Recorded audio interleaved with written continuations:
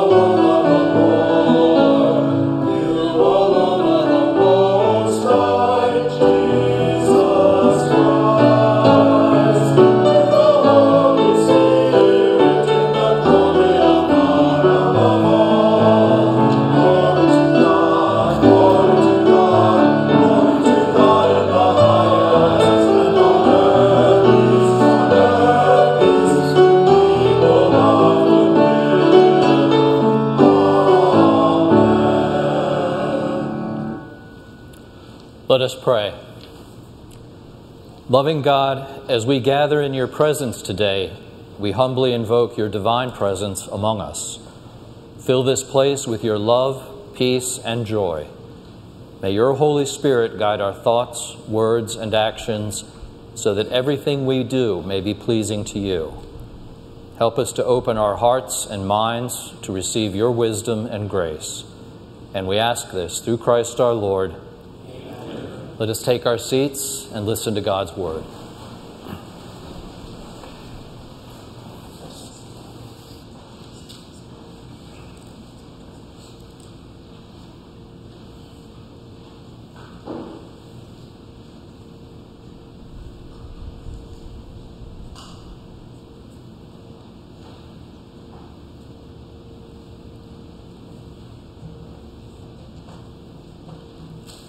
A reading from the book of the prophet Ezekiel. A spirit entered into me and set me on my feet, and I heard one speaking to me Son of man, I am sending you to the children of Israel, to a nation of rebels who have rebelled against me. They and their ancestors have transgressed against me to this very day. The descendants are imprudent and stubborn. I am sending you to them, and you shall say to them, Thus says the Lord God, whether they hear or refuse to hear, for they are a rebellious house, they shall know that there has been a prophet among them. The word of the Lord. Thanks to God.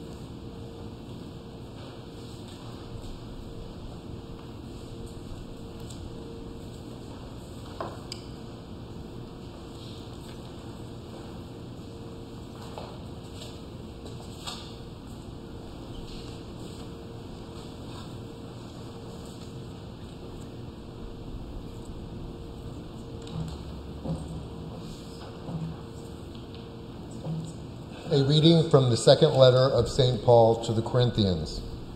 Brothers and sisters, considering the exceptional character of the revelations, to keep me from being too elated, a thorn was given me in the flesh, a messenger of Satan to torment me, to keep me from being too elated. Three times I appealed to the Lord about this, that it would leave me. But he said to me, My grace is sufficient for you, for power is made perfect in weakness. So I will boast all the more gladly of my weaknesses, so that the power of Christ may dwell in me. Therefore, I am content with weakness, insults, hardships, persecutions, and calamities for the sake of Christ, and whether or not I am weak, then I am strong. The word of the Lord.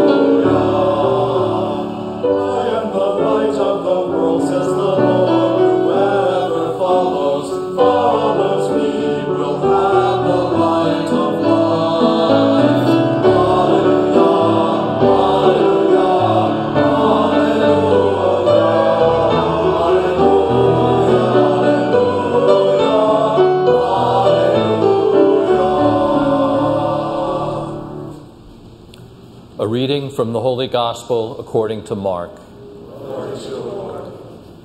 Jesus came to his hometown, and his disciples followed him. On the Sabbath, he began to teach in the synagogues, and many who heard him were astounded. They said, Where did this man get all this? What is this wisdom that has been given to him? What deeds of power are being done by his hands? Is not this the carpenter? the son of Mary, and brother of James, and Joseph, and Judas, and Simon? And are not his sisters here with us? And they took offense at him. Then Jesus said to them, A prophet is not without honor except in his hometown and among his own kin and in his own house. And Jesus could do no deed of power there except that he laid his hands on a few sick people and cured them. And Jesus was amazed at their disbelief. Then he went about among the villages teaching. The Gospel of the Lord.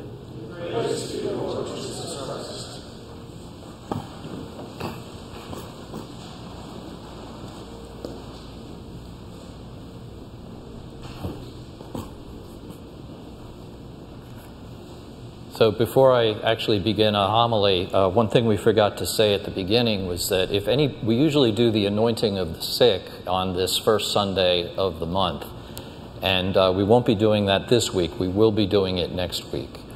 But if you came here tonight specifically with the intent of receiving that sacrament, please see myself or Jake in the back, and we'll direct you to uh, one of the priests who actually is in the congregation tonight. So today's readings present us with a profound challenge and a comforting truth. The challenge is that we are invited to take part in the prophetic message of God, knowing that we may be rejected. The comfort is that, like Ezekiel and Jesus, we don't have to succeed. God commissioned Ezekiel to speak to the house of Israel whether they listen or fail to listen, they will know that a prophet has been among them. The passage helps us to understand the role of the prophet. You see, Ezekiel was sent to people who were ob- obstinate and stubborn, and God did not sugarcoat the message. He warned Ezekiel that the people would not listen. But Ezekiel's success was not measured by the people's response, it was measured by his faithfulness in delivering the message. Jesus also faces rejection in the gospel. He declares a prophet is not without honor except in his own town. And despite his wisdom and miraculous deeds, the people who probably knew him best questioned his authority and they took offense at him. They failed to recognize the prophet in their midst. Now, contrary to popular use of the word, a prophet is not somebody who can foretell the future. A prophet is someone who can speak the truth. Prophets are called to be spokespersons for God. They deliver messages that may challenge and convict, but they also may deliver words of comfort and consolation. I like to think of prophets as those members of society who say to society, we can do better than what we've been doing. When I think of the Old Testament prophets, many of them, most of them, you know, spoke to uh, God's people the truth, and the people were rebellious. They, the prophets would beg them to return to faithfulness to the covenant. They would challenge them not to forget the poor, especially the widow, the orphan, and the foreigner. Personally, I would argue that the days of biblical prophecy may not be over. In our times, we've seen individuals who, through their faith and their conscience, have taken bold stands on justice, peace, human dignity. Some of you know that I teach high school theology, and one of my classes is Catholic social teaching, where we deal with a lot of social justice issues like war and racism, poverty, and the death penalty. And I asked my students to try to come up with some modern day prophets. And of course, the first two names that always surfaced every year are Martin Luther King and Mother Teresa. Now, I don't want to minimize either one of them. Martin Luther King spoke against racial injustice and he advocated for nonviolent resistance. Mother Teresa saw the face of Christ in the poorest of the poor, and she challenged the world to respond to such poverty with compassion with a little prodding, my students usually throw out a few other names Oscar Romero, Nelson Mandela, Gandhi usually get mentioned. But over the years, I've gotten some very interesting names. Sister Helen Prejean, who speaks out against the death penalty. Cesar Chavez, who advocated for the rights of migrant farm workers. And even now, in our own 21st century, we have two teenage girls Malala, who advocates for the right of education for girls, and Greta Thunberg, who draws attention to the dangers of climate change. And many of you in this audience may be thinking of Sister Jeannine Gramick, who challenges her own church on LGBTQ issues. Proclaiming God's message and speaking uncomfortable truth may come with the pain of rejection, but this is not new. Ezekiel was warned of it, Jesus was crucified for it. Martin Luther King was assassinated. Malala was shot in the head. And Sister Jeannine was forced to change her religious communities. Yet in their rejection, the truth of their messages remained unshaken. So, what about us? Well, we too are called to be prophets. By virtue of our baptism, we share in the prophetic mission of Christ. We're called to bear witness to speak the truth in a world that may not want to hear it. And this can be daunting. We may face indifference, hostility, ridicule, but nonetheless, we are called to bear witness, to stand up for justice, and to speak out against wrongdoing. Such a task requires courage. It means being willing to stand against popular opinion and face persecution and criticism but it means being a voice for the voiceless, advocating for the marginalized, and living with integrity. I'm reminded of a bumper sticker I sometimes see that reads, Speak the truth, even if your voice shakes. We can start by looking around our communities and identifying areas where God's truth needs to be proclaimed. It could be in the home, in the workplace, in the church, advocating for the rights of minorities, promoting peace and reconciliation. And I don't think I need to tell this audience about the need for truth to be proclaimed loudly and clearly this year in what promises to be a hostile election year. If you remember my opening sentence when I said that today's gospel readings present us with a challenge and a comfort, tonight's readings remind us that we are called, our calling is to be faithful, not necessarily successful. Ezekiel's task was to speak God's word regardless of the people's response. Jesus continued his ministry despite his rejection, and our role is to do the same. Perhaps we will fail, but maybe we'll be sowing seeds. Even if it's in just one person's mind, trusting that someday God will continue the harvest down the road. But if we're rejected, it does not mean we failed. Rejection does not mean that the truth has been diminished. When we speak and live out the truth of the gospel, even if people do not accept it, eventually they may come to recognize it perhaps only in hindsight. But people will know that a prophet has, in fact, been among them. Thank you.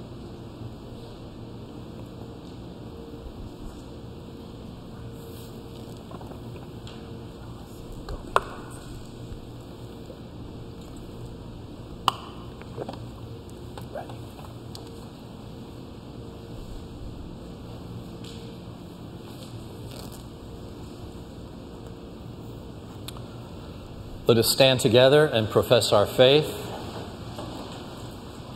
I believe in one God, the Father the Almighty, creator of heaven and earth, and in Jesus Christ, his only Son, our Lord, who was conceived by the Holy Spirit, born of the Virgin Mary, suffered under Pontius Pilate, was crucified, died, and was buried. He descended into hell. On the third day he rose again from the dead. He ascended into heaven and is seated at the right hand of God, the Father Almighty. From there he will come to judge the living and the dead. I believe in the Holy Spirit, the Holy Catholic Church, the communion of saints, the forgiveness of sins, the resurrection of the body, and life everlasting. Amen. In faith and humility, let us offer our needs to the God of love and compassion. Our response this evening will be God, hear our prayer for the church and our community. May we not be a rebellious house, but listen well to the prophets among us, we pray. For the oppressed, afflicted, or in need, for people in need of food, housing, or medical care, may those with resources to help not refuse to hear the cries of the poor, we pray. For those who work on behalf of social justice, May the prophetic voices find a willing response from our community, we pray. We pray tonight for those who have asked our prayers who are sick, especially Anne, especially Anne, uh, Ruthie's mom. She's just not doing well, so please keep her in your prayers. Uh, Bill Hunt, Karen Hinkle, Chris uh, Hinkle's mother, uh, Mark, Paul, Steve, Tom, those in our book of remembrance and those we mention aloud by name. May the healing hand of God touch them and guide their caregivers, we pray. We pray for those in our community and our friends who have died, especially Edwin Smith, Roger Sukarski, Patrick McNellis, Jim Pennick, Bernie Delia, our family and friends, Frank Maliano, Barbara Hansen, and those we mention aloud by name? May they all be at the great banquet with God, we pray. And for what else shall we pray as a community?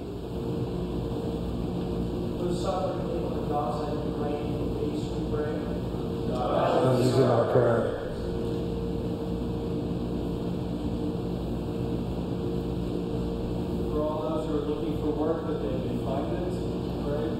God, receive our prayer.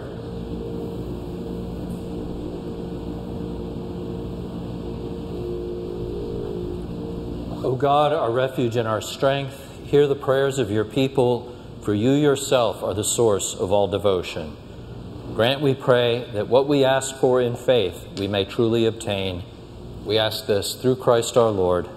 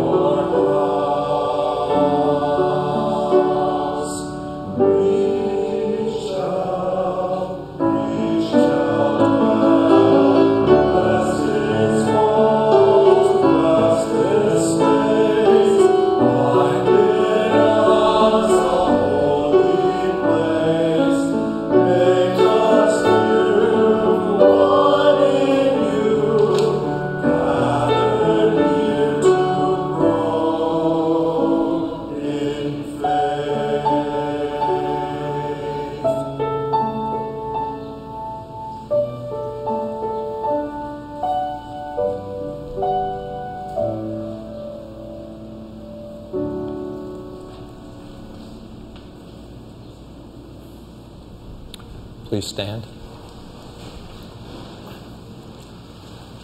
Our God provides us with food for eternal life. Let us pray together for nourishment and strength in the words that Jesus taught us.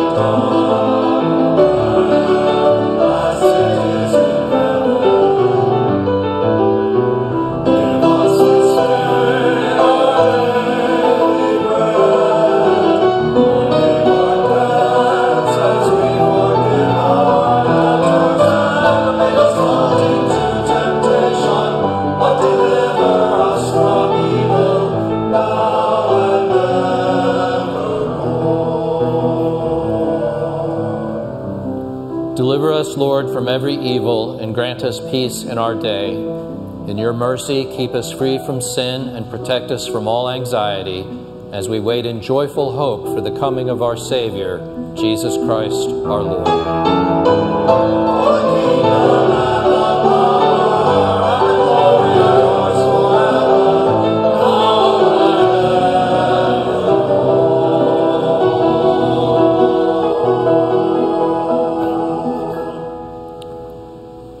Us offer one another the sign of peace.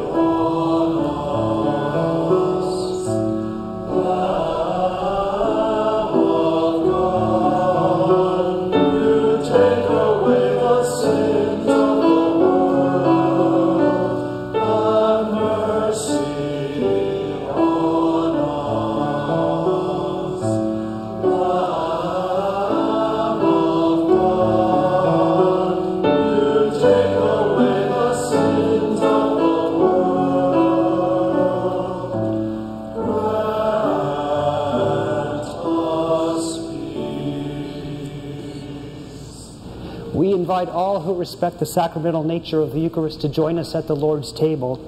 Because this is a communion service, we will not be offering consecrated wine or grape juice tonight, only pre consecrated hosts at the center aisle. Thank you.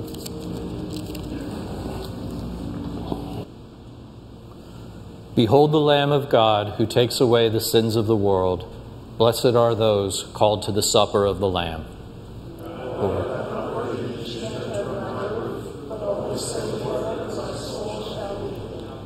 May the body of Christ bring me to everlasting life.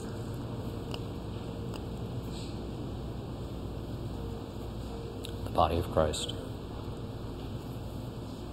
The body of Christ.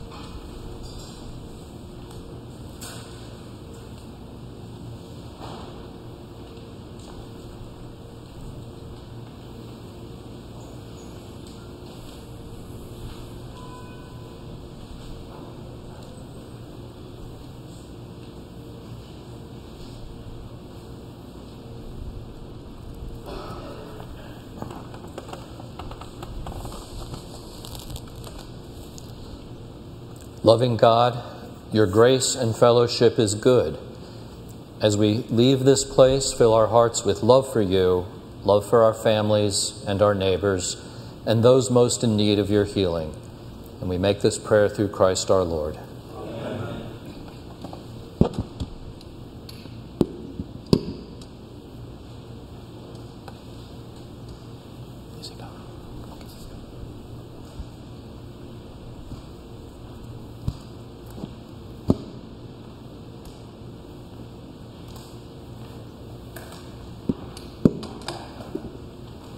Good afternoon, everyone. I'm so glad to see you all here. Welcome to our service this afternoon. I hope you all had a wonderful 4th of July, a little better than mine, hopefully. Um, this, uh, my name is Vince Rodriguez, and I serve as the president of Dignity Washington. Uh, this is the time that I usually ask if there's anyone new here in the congregation for, or someone who has come back after a long absence to please, and you feel comfortable, stand up and give us your name, and I usually bring the microphone to you. I am at a disadvantage, so either speak loud or come into to me with a microphone to get the microphone. Anyone? Anyone? Okay. Um, just a couple. Oh.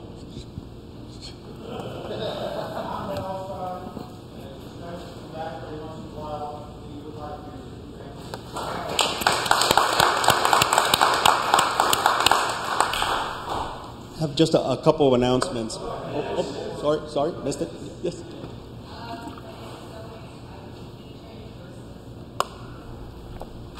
Welcome, welcome.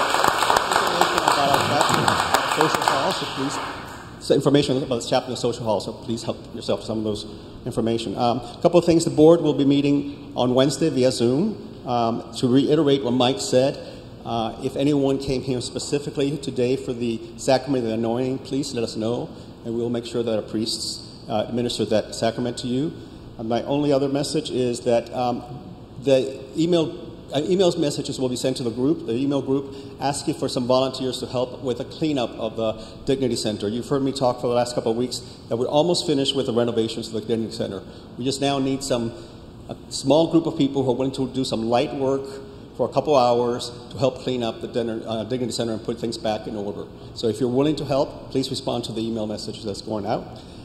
Thank you to the entire group that put the service together, to the entire team. Mike, thank you and Daniel and Jake and Frank and Wayne and Kevin and Alan and Peter, Tom Y, Tom B. I think, uh, hopefully, I got them all. Thank you, everyone, for being here. Remember, there's no dignity without you, so thank you so much for joining us. Have a good week.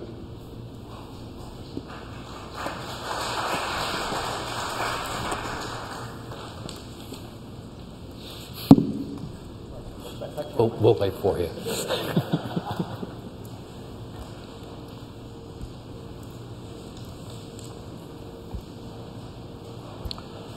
The Lord be with you.